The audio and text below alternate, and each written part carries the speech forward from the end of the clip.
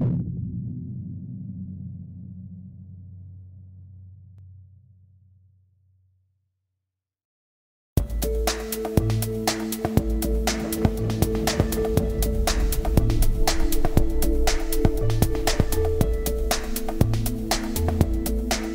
Wild Genes are making um, DNA tools very accessible to conservation management. Um, previously, a lot of this technology has been in the realms of academia, and what we strive to do is try and actually take that technology and make it something that can be very um, usable in the field. Wild Genes is a wildlife genetic laboratory, and essentially we take um, DNA technology and tools, and we try and work out how best to apply those to informing conservation management. Genetics is really just the analysis of DNA. DNA is a, is a molecule and, and in, in that molecule it holds the code, the entire code if you like, the recipe, the instruction manual that makes uh, individuals and species that makes up a person. We can't get away from the fact that research and work being done behind computers or in laboratories is a fundamental part of conservation.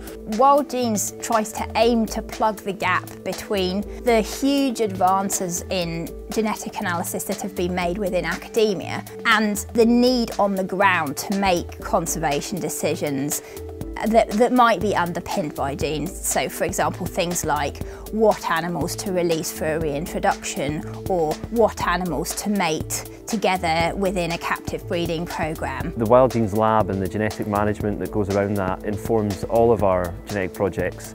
Their results or conclusions underpin where the animals are sourced from or what animals will be used and uh, it really is a crucial part in any of the translocation, reintroduction, any of the projects we do in terms of the field programmes is underpinned by genetics from the Wild Genes Lab.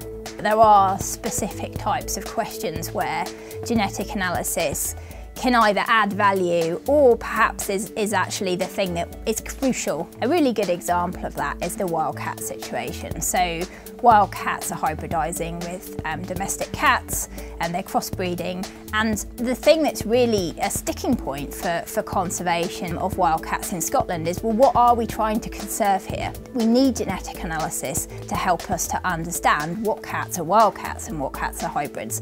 You can't really get an answer to that question without looking at the genes, looking at the DNA. With the work we're doing with Scottish wildcats, we are now able to take samples from wild living individuals and see if A, they are extensively hybridized or they're, they're minimally hybridized. We're also able to see how closely related uh, they are to other wildcats or feral cats or hybrids from that nearby area. And that, that uh, in its uh, entirety gives us a, a, really comprehensive understanding of the genetic issues and how we can tackle them from a conservation perspective. So obviously everyone's familiar with the idea of um, conserving species from extinction, but we're not just worried about that, we're also worried about the the, the genes that underpin those species. For example, like beaver. Beaver populations were um, hunted to near extinction within Europe. There's a huge amount of genetic diversity that's, that's been lost forever. That's what we worry about as geneticists. We want to uh, conserve genetic diversity and the reason why we want to conserve that is because having healthy and diverse genes within a population actually is one of the, the things that will help that population to survive the best into the future.